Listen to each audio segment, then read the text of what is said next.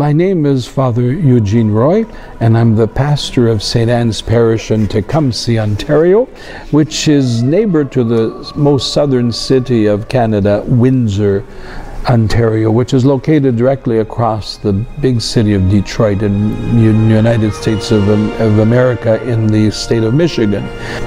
My impressions of in preparation for the centenary of the apparitions was indeed a, a, a very, I would say, privileged moment because uh, as I heard of this beautiful blessing by the Holy Father, Pope Francis, um, and being here as her first visit to our nation at St. Anne's is indeed a moment of great joy, but it's also a recognition of, uh, of how humbled we are that uh, Our Lady uh, was able to uh, be present among us uh, for this very important milestone in praying for peace and most of all, her maternal care for us as her children.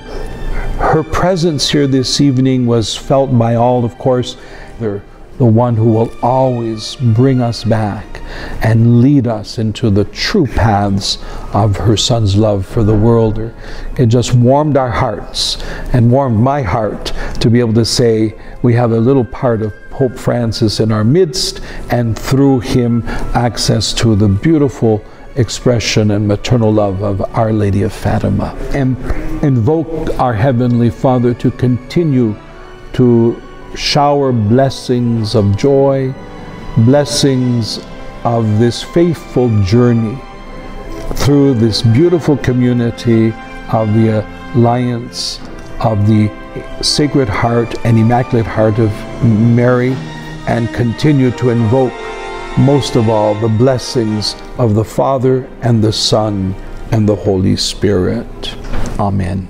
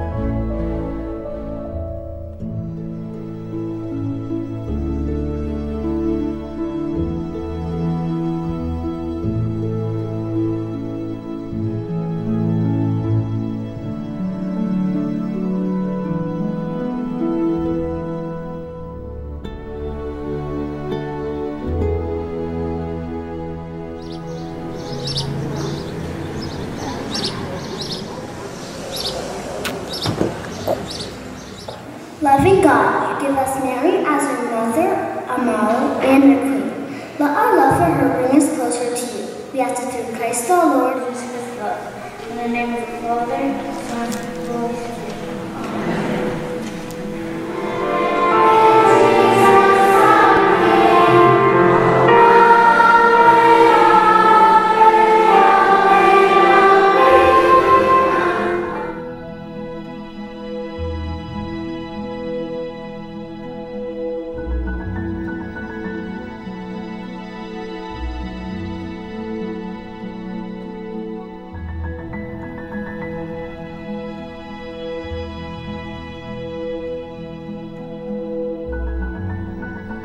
That's your heart being one with the heart of Jesus.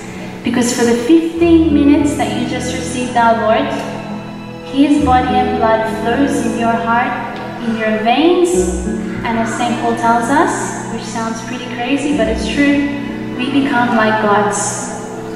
So I tell you, cherish this moment. These 15 minutes, let us imitate the three seers during 1916 when the angel of Portugal appeared to them and suspended in the air the sacred Eucharist. He was an angel, and yet he went in front and prostrated himself. So I encourage you all